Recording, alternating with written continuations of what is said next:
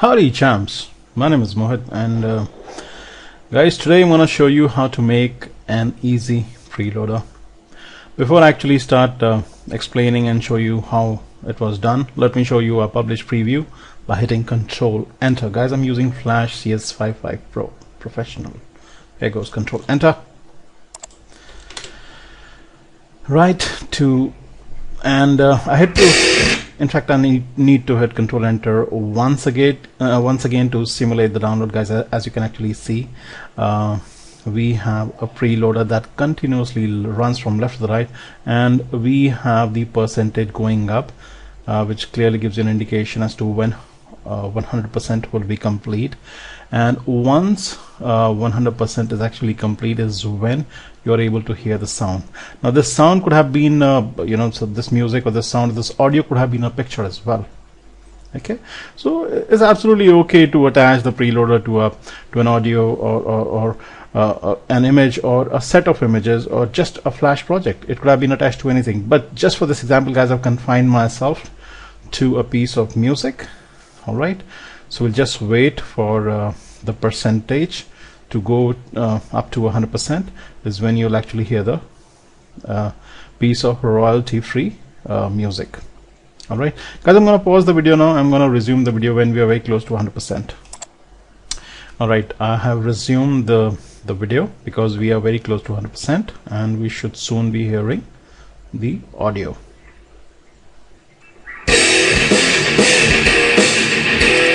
absolutely. All right. So guys uh, what I'm gonna do is I'm gonna redo the project in a new file and hence making you understand how this was actually done. Before that guys uh, let me show you our website. Now the name of the website is preloaders.net and this website allows you to generate free uh, animated GIF files or PNG files. All right uh, you can see out here on the left hand side we have uh, categories. For my example I had actually chosen the horizontal bars category. Then I had uh, clicked on this drop down and then I had selected uh, you know this option okay? Uh, you can choose your own background color the foreground color. You can decide on the animation speed. You can decide on the preloader size in terms of uh, pixels right? Uh, there are certain advanced options also that uh, you could have used all right? Or you can best leave them alone.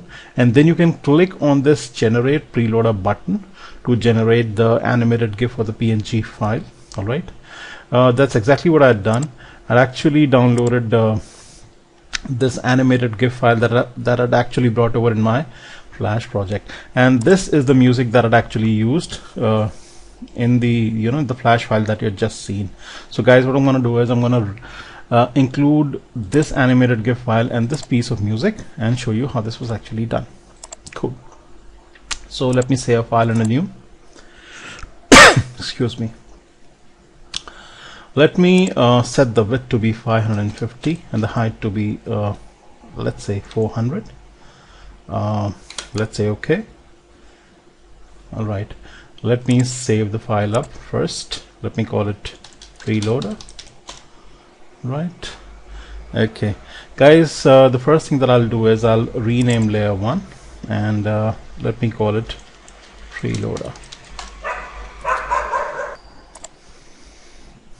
Okay. Next I'll say file import import to the library.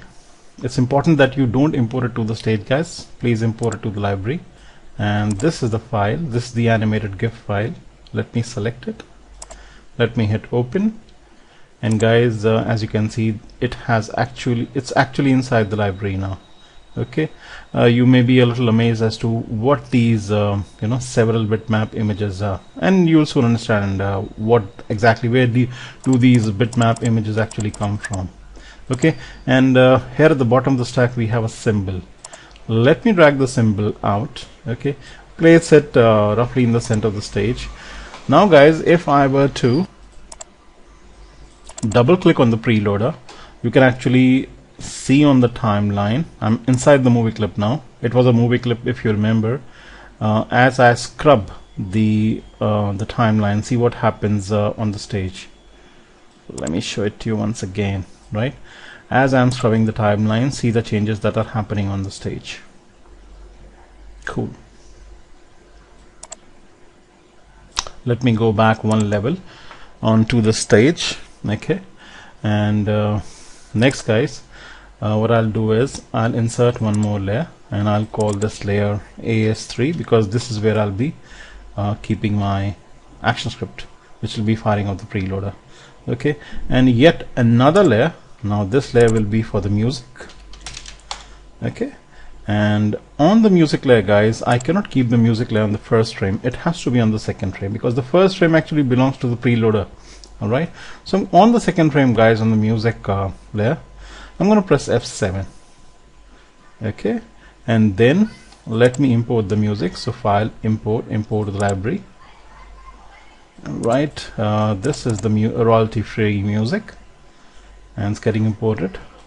It's in the library now. Let me pull it out from the library and put it up on the stage. Okay. Uh, it's on the stage now. On the second frame of the music layer let me hit the text tool guys and then just uh, write some text now. Playing music. Right. Let me expand this area right. Let me make sure this message is in the center of the stage. Okay making sure the align to stage checkbox is on. Right. Now I'm back to the preloaders uh, frame guys. And out here I also need to have a text message making sure that it's set to classic and static. Right and all it says is uh, loading. Right.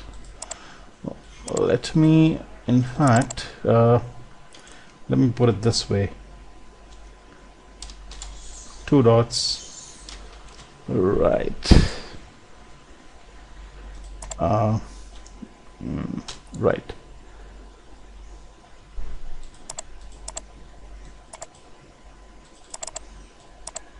in fact let's do uh, this is much better right? Okay so all it says is uh, loading and uh, I need yet another text field guys uh, somewhere out here. Okay. And uh, guys the alignment has been set to center and the font family is Nyala okay. I'll, I'll make sure that it's set to dynamic classic but dynamic so that I can give it an instance name. Let me give it an instance name of my text okay? So the font family is Nyala the font size is 62 the color is uh, pound sign triple three triple three. Anti-alias is set for readability okay? And aligned to center is on. It's not selectable guys. Okay it's not selectable. Cool. And uh, as I uh, said I have given it an instance name of my text. This is the way I'll be referencing it inside the actions panel okay. So guys uh, since the stage uh, or the preloader layer is all set up let me go inside the AS3 layer and the first frame go inside the actions panel and start coding. Cool. All right. So the first thing that I need to do is make sure that the playhead doesn't rush to the second frame and I need to use the stop method like this. Okay then I need to add an event listener to the loader info property. Now the loader info property is responsible for fetching the bytes loaded and the bytes total of your project. So loader info property dot add event listener and I'll scroll down and choose the last uh, option which says progress event dot progress okay so as long as the you know the progress is happening or the project is loading I would want a function called loading to fire right? Let me define the function loading. Okay. So the event is actually a progress event right? And then let me define the function progress. And inside the function let me first create or declare a variable percent okay uh, the type is a number. And let me make it equal to event dot bytes loaded divided by event dot bytes beg your pardon total into 100 now obviously this will give me the percentage uh, loaded obviously. Because uh, even the bytes loaded divided by the bytes total into 100 simple mathematical formula for fetching you know getting the percentage right? And as I said the loader info property is responsible for fetching event uh, dot bytes loaded and uh, event dot bytes total right? Next guys I'm gonna say my text. That is the text uh, instance name of the text field that we had used on the stage. Dot text through the text property let me make it equal to uh, math dot round. Now this rounds off a number go, uh, guys of what? Of percent. Okay? And since uh, my text is a text field which will accept only a string uh, I need to add a percentage sign. Basically when you add a number to uh, a string the whole thing then becomes a string that's exactly why I need to add the percentage sign. Also to actually display the percentage sign. All right? And uh, in the next line I'm going to use an if conditional. So if this then that. Now what is this and what is that? Let's see that. If mm, percent is equal to is equal to 100 okay? So basically when uh, the complete timeline has been loaded. All right when the uh, total bytes have been loaded. Uh, what do I really want to happen? The first thing that I would want to happen is this. I would want to remove the event list. Now I no longer need it so let me copy this out here and change the add to a remove. Okay? Uh, not only that I would also want it to go to the next frame.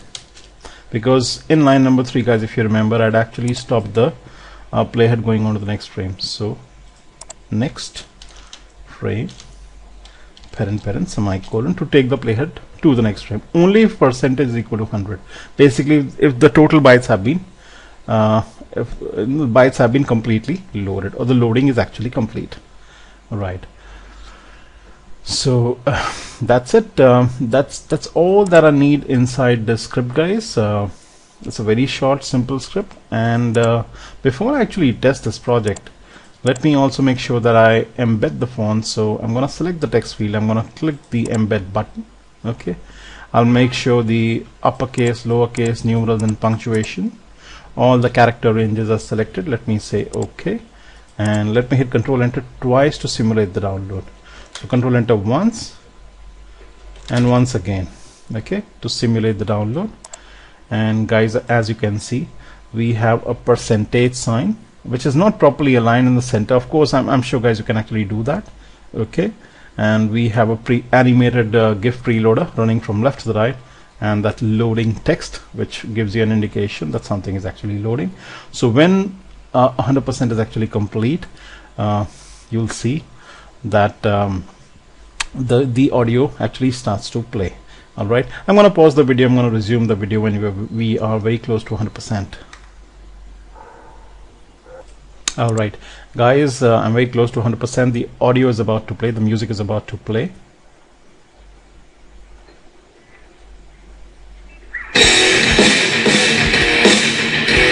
Right. And indeed uh, that actually happens.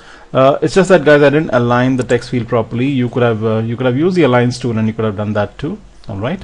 I was I'm not too particular about that.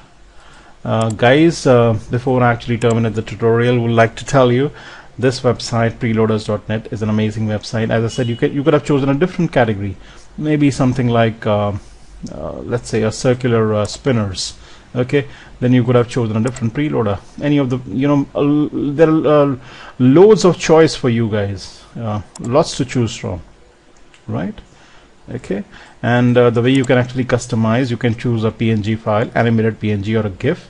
You can ma make sure that the, the background is actually transparent or not. You can change the foreground and the background colors. You can change the animation speed the size. You can you can um, tell whether you want the original colors or not. And as I said the, there are certain uh, advanced options to flip the image okay? To use environmental colors to reverse the animation. You can adjust the frame count guys. You can um, all right uh, generate the preloader automatically uh, you can reset the form right? And this is the magic button the generate preloader button. All right. So guys i hope you like this tutorial and i hope to see you very soon with yet another flash and actionscript 3 tutorial or it could be dreamweaver. You have a good day guys. Bye bye peace